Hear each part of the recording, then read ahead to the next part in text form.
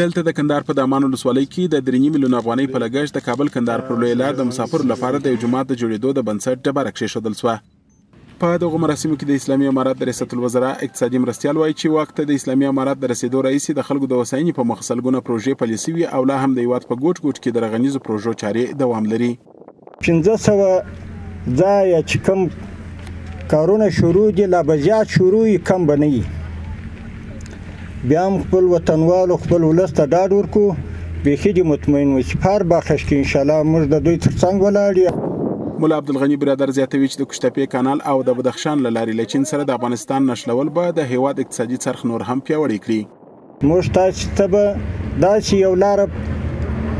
جوړیږي چې موږ به ارڅ ان شاء الله په هغه لار باندې د چین سره به مرابطه مات د تجارتي اموالو که موږ درلوده کوم د هغو خوا سره راواردوله دا به ان شاء الله ژر تر ژره تاسو ته موږ زیری درکوي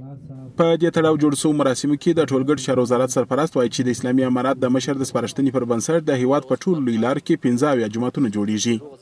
د عالي قدر امیر المؤمنین شیخ صاحب په امر سره په ټول افغانستان کې پنځه اویا مسجد جوړیږي څو مسجد ته پنځه اویا مسجد ته جوړیږي چې دا پر ولایتو باندې تقسیم دي عام خلک هم د روانو رغنیزو پروژو له چارو هرکلی کوي او په خبره یې د دا ډول پروژو پلي کېدل د هېواد په اقتصادي واده کې خورا مثبت رول لوبولی شي. چې هر ډول اسانتیاوې برابریږي دا د دې ملت په خیر او د حکومت په ګټه دي. د اسلامي امارت یا کور ودان چې په لوی شهراو باندې او پر لوی لارو باندې مسجدونه جوړیږي یا جامع ګانې جوړیږي.